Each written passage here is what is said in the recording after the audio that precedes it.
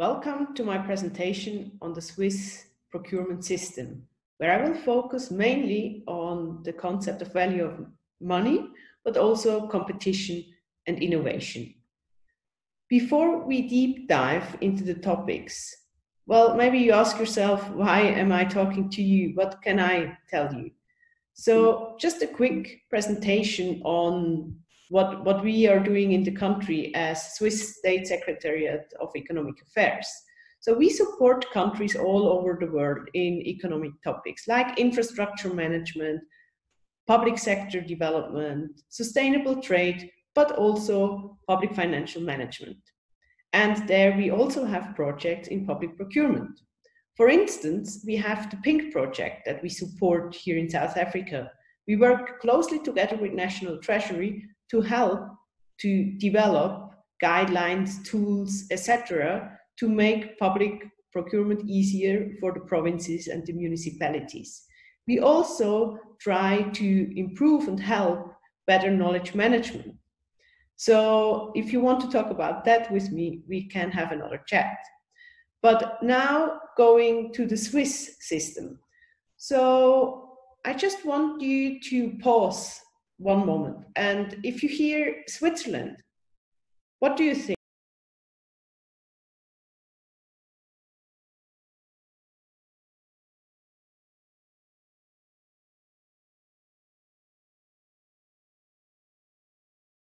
Think.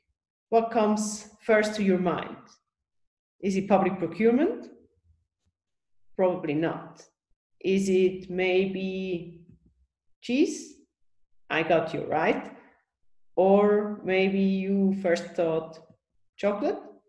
Very probable. For others who like shows and stories, maybe you also remember Heidi, the happy Heidi from the mountains, right? Or especially important also globally we are quite well known sometimes in positive sense sometimes not so our banking system which of course is very important but do i want you to think of these things after our session? No. There are three other elements i want you to remember after my presentation. It's competition. Switzerland and the swiss companies have to be highly competitive. And this is linked to the second point, the global economy. Switzerland is very globalized. We have connections all over the world. Our companies must compete globally. And the last point might be the most surprising one for you. It is SMEs. SMEs are the backbone of our economy. So before I tell you a bit more about uh, why that is and what does it mean for a public procurement, let's have a look at Switzerland on a, from an overall view. So Switzerland is in the center of Europe, and yeah, I admit Swiss politicians and also we privately sometimes think we are the core of Europe. On a geographical map, this is true, I guess but politically not so. But now, also to give you a flavor, if you compare Switzerland to South Africa, you will see it's not really comparable. But um, for, for instance, just looking at size, we have only about 41,000 square kilometers. And you here in South Africa have a million two hundred thousand square kilometers. That's impressive. Then, if we compare the population size, you have Switzerland on one hand with 8 million and the South African with 55. But so now what is surprising is comparing how our government, our country is structured. So we have 26 cantons. Imagine. And even more surprisingly, the amount of municipalities we have 2,222 municipalities. Unbelievable, isn't it? But well, this number is um, dropping continuously as more and more municipalities are merging. The mergers need to happen because a lot of municipalities don't have enough stuff, they don't have enough specialized stuff to deliver the services that the citizens need. Especially in the more remote areas in the mountains, This is happening because the younger people move to the cities, a phenomenon that you also know here in South Africa. Now, looking at the construction or, or the how the, the economy look likes, you see how dependent we are on other countries. So, for instance, the EU, our big brother, if you may say so, and we import more than 70% from the European Union, and we export more than 50% to the European Union. That's quite a number. But now I want to look you at this number of 99. 99% of our companies are SMEs. Well, you might say now, but uh, the statistic it's one to 250 employees is an SME. I mean, 250, that's not really an SME anymore. You, you are right. But then we can look at the other definition that says SMEs one to nine employees. And if you look at that, it's still 90% of our companies are SMEs. So 90% of our companies have less than 10 employees. So what would you expect? That we have, for instance, special treatment for these SMEs because we need to protect them, right? So that they can compete, that they can get government tenders, isn't it? Well, I come back to that in an instant. First, I want to just give you a flavor on the legal framework in which the whole public procurement takes place. So the key reference point here is the WTO Agreement on Government Procurement. Switzerland has to comply with that. We are a member of it. Maybe just to highlight what is so important when you look at the WTO agreement. Well, the rules are there to make the government to act as a private actor. So to be more competitive, to be more transparent, right? Besides that global agreement, we also have, of course, agreements with the European Union. It's very important to have access there. Then we also have agreements between the cantons and between the national level and the cantons, as well as with the municipalities. It's quite a complex framework, and at the moment we are also trying to simplify that and harmonize. Just looking more in detail into the legal framework, we have basically two pillars of it. So one is there to ensure market access. So market access for the Swiss companies to the big economy, to the big world, to the European Union. And for that, we have these three different agreements. On the other hand, it's important to ensure competitiveness of our sector. So here we call it the renewal of Swiss market economy. So to forbid cartels, um, to have a Swiss Single Market Act and Public Procurement Act. This is very important, this aspect of ensuring that the companies are competitive. Now, the principles and procedures are very similar to yours. I think there is no big surprise. You have, of course, transparency, which is key as a procurement principle. You have the competition among tenders, of course, also very important. Then the equal treatment, of course. And the last point is the one I want to highlight is the rational use of public funds. So here, just read that line. Not the cheapest, but the economically most advantage offer. Okay, you can also rephrase it and say, um, we want to have a good price performance ratio. If you translate value for money um, into German, then the word by word translation would be price performance ratio. And with that along, another important principle is fit the purpose, right? So the goods or the services you buy as a government need to fit the purpose.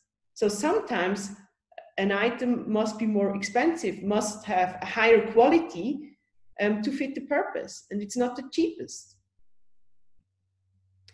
So under that, you ask yourself what I mentioned before is there special treatment for the SMEs? Because how can it be if you have open boundaries, if everybody else, if the Germans can come to Switzerland and compete for our public tenders, we must protect these SMEs, right? No, no.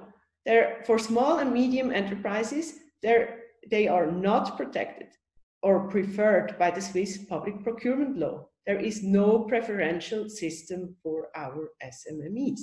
But, and these are the key points, we have harmonization or we try to improve that through all levels of public administration and legal of the legal framework.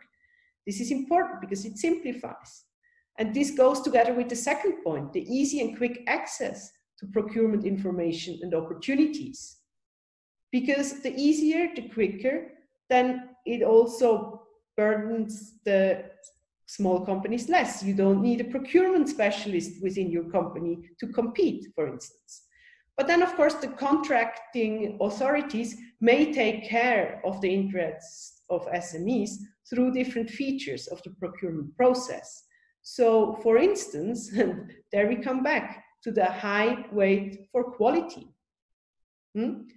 Then the project structure. So we can define the tenders as specialized and focused tenders. The contract size. So if you have different elements within a big tender, you could define that a specific topic is one lot. So a company could just tender for that specific lot and not for the whole package you put out. Then, of course, allowing for bidding, consortium, and subcontracting. This is what you know as well. And again, what I said before keep the bureaucracy as low as possible. Get rid of your red tape. This is the most important thing, especially at the municipal level. If these guys need to, to be able to manage the procurement system on their side, but also for the SME side. Now, the key aspect, again, what I said now a couple of times in our system is quality. So, how do you make sure that quality gets enough weight in a procurement system? Well, you can reflect that in our two stage evaluation process. So, at the first stage, we look at the general requirements, of course, and the suitability eligibility criteria. Then at the second stage, it is probably that's exactly where, where the key element is. So you look at price and quality at the same time. So you don't have separate um, processes for that. And why is this so important? So we said key for value for money is the fit the purpose, right? So if a company, for example, has excellent services they provide you, they offer, they will be more expensive. And maybe it's exactly that offer you want. But if you then only look at the price, or if at in an end round it's only the price criteria that counts, that company will not win the tender. So looking at this in a bit more detail, so this evaluation in the regular case, as I said, we want the best value for money, right? And here we say we have both the price and the quality criteria together make up the 100% at the second stage. And how you weight every criterion will depend um, and will define, of course, then the individual score of a tender. So what is important, of course, is also to look at what kind of item or service you buy as a government. If it's more standardized, then quality is not that important. Then it's the price. So in our system, up to 80% can be the price weight of a tender evaluation. If we have more specialized um, items or services we want to purchase, then the quality criteria can be up to 80%. Just, just think about that, up to 80%. Price is only 20. What I want to say here is the whole quality discussion is so important because focus what, what you can see if you look how companies work, and I mean also for the government, if you focus first on quality, you increase your productivity because you are more efficient, more effective. Things only need to be done once. They don't need to be redone, refixed, right? And also, when you look at quality aspects as um, life cycle costs, maintenance costs will be included. So in the medium run, it will cost you less, even though at the beginning you might pay more. So looking at these um, quality criteria, of course, what is key, it must be linked to the good, to the work or services you buy. So it can't be just a funky kind of definition. So for instance, uh, key criteria are technical handling and service quality criteria. Or what I mentioned before, the maintenance or lifetime cost that needs to be reflected in a tender. Environmental quality, of course. Then also overall the quality of the tender. So there are more possibilities and we can have a chat about that, but it's key to, to look at those.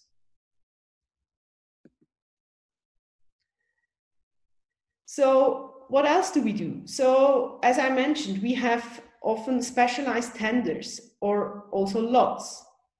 If we take an engineering tender as an example, we often have phased tender processes. So we have a first phase that is a preliminary study, often a small kind of contract.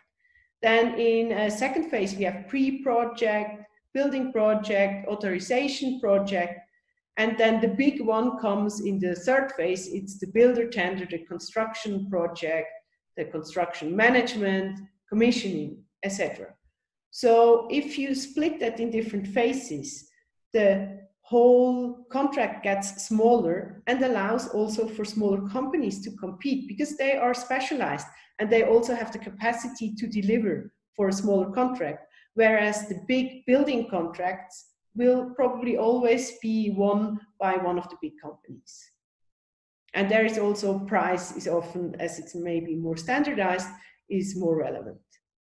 So you see advantages, as I said before, you have various contracts um, that are based on the capacity and the strength of the engineering offers. You have diversity in tenders and you can award different engineering offices. Because if you have smaller tenders, you can even give them directly to a company. And there you have a set maybe of service providers with a framework contract. So just quickly, more in, in detail. If you look at stage one of such an engineering tender, we have organizational structure, suitability criteria, we have, um, for example, the, the experience we define, right? I think that's quite common you of course also have financial aspects of the company, all these kind of checklist that comes at the first stage if a company is really capable to do the tender. Then at the second stage, this is what I said before, we look at quality and price at the same time. So looking here, we have, for example, references and quality of experience is one criteria, the capacity and apprentices so I, I like that aspect, apprentices. So for example, if you as a little company in Switzerland compete for a tender of, let's say, the city of Zurich, then you get extra points if you have apprentices. I think that could be very interesting in South Africa as well, as with the vocational training um, that the government supports, companies could be rewarded of having young people and train them because they get an advantage when they compete for a public tender. And then we have the price criterion. And you see in this case of an engineering tender, it's often between only 20 to 50% of the overall weight. So with that, I'm already at my takeaway messages. So I think it is important, especially when you see how, how can it work in Switzerland? on one hand, you have this massively global economy. you have these competitive public tenders where not only Swiss companies compete, but also the Germans just across the border, the French across the border, Italians across the border. So it's a lot of competition. What is key is that the public procurement system aligns or is aligned to the market structure of the Swiss economy. It focuses on assuring that the SMEs are competitive on one hand, but on the other hand, that the system allows also these SMEs to compete with all these features we, we um, discussed before, with specialized standards, with lots, etc. So we have instruments to allow the SMEs to compete. But I think I want to close my presentation with this focus on value for money, the quality criteria. Please think about that when you do and prepare your next tender documents. And I want to end with a quote from William A. Foster, a US Marine. He said, Quality is never an accident. It is always the result of high intention, sincere effort, intelligent direction, and skillful execution. It represents the wise choice of many alternatives. I like that. Keep that in mind.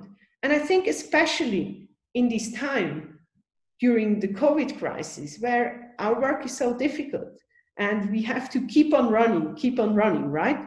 But while, while you are running, don't forget that we have to focus on quality and that sometimes needs or, or requires from us to sit down to think of what we need in a public tender what what is like the, the fit the purpose of, of, of, of an item and service we purchase so keep on running but keep also the quality criteria on your mind. So i'm looking forward to the q&a session after my presentation. Have a lovely day